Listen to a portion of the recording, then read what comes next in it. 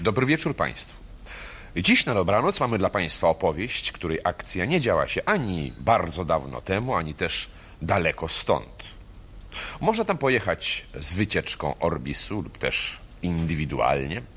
Po prostu e, na chwilę przeniesiemy się do Hiszpanii. Ole!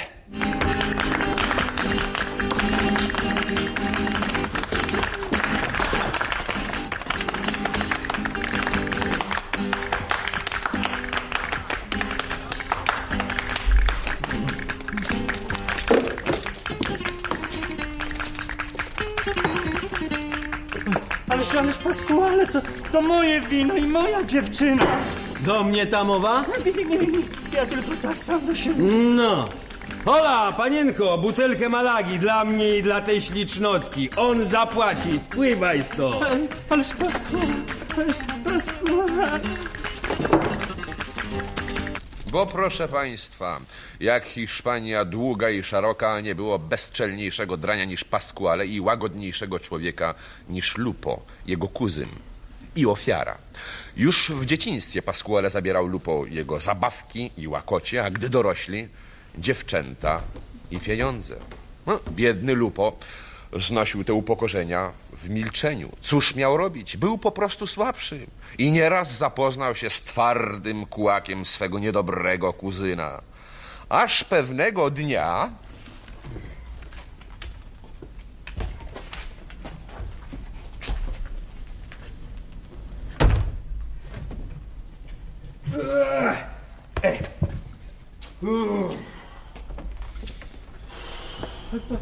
Pasquale, co to ma znaczyć? To ma znaczyć, że od dziś tu mieszka.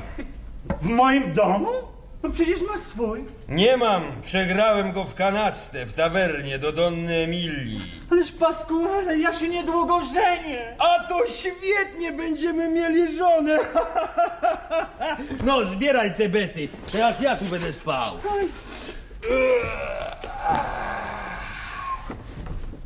Karamba! Tego już było za wiele nawet dla cierpliwego Lupo. Wypadł z domu biedak jak oszalały, ażeby szukać pomocy. Co ty powiesz? Co ty powiesz? Zajął twoje jedyne łóżko. Ach, Aj, aj. To nie uchodzi. Ale jeśli pić musisz mu dawać, a to łajdak bez sumienia. No Niechby cóż to tak. już sprawiedliwości na niego nie ma. Ze mną niechby tak spróbował. Pomóżcie mi, ludzie, pomóżcie, bo sobie sam nie dam rady. Don Jose, macie we wsi poważanie, on was usłucha. Kiedy muszę y, pilnie do miasta jechać. Juanie, Juanie, może ty silny jesteś, każdego kładziesz na rękę. No, a to są wasze rodzinne sprawy. Nie chcę pchać palca między drzwi. Ale Chodziliśmy przecież razem do szkoły, pamiętasz? Z rzeki cię wyciągnąłem. Chodź, synu, do domu, już późno, kozy trzeba wydoić. I Lupo został sam ze swoim zmartwieniem, bo ludzie są niesłychanie delikatni, nie tylko zresztą w Hiszpanii, i nie lubią się mieszać w podobne sprawy. Cierpiał więc dalej, pomiatany i poniżany we własnym domu, aż pewnego dnia zjechał do wsi wędrowny cyrk.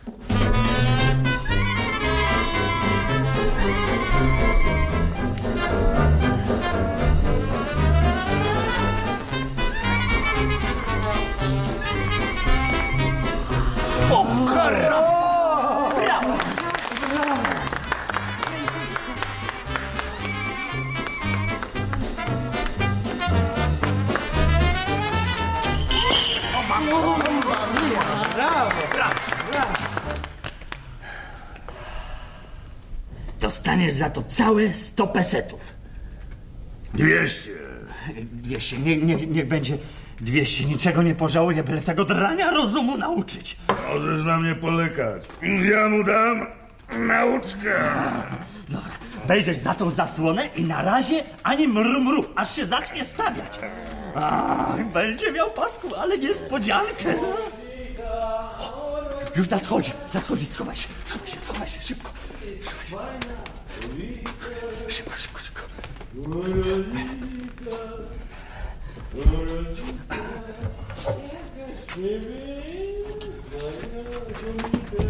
O Rosita, o Rosita, jeść i pić, tylko szybko, no co się gapisz, bałbanie? Won! Coś ty powiedział?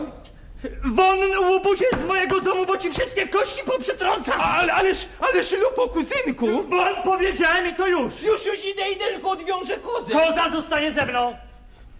Uhu, to on musi mieć kogoś mocnego za sobą. Hurra, hurra, udało się, udało! Była siłaczu już po wszystkim!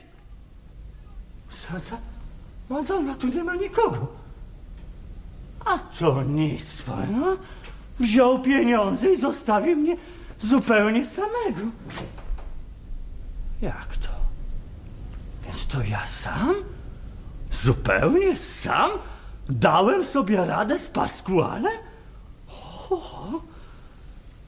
Historyjkę tę dedykujemy szczególnie tym wszystkim, którzy cierpią na dość rozpowszechniony kompleks, że nie mają nikogo za sobą.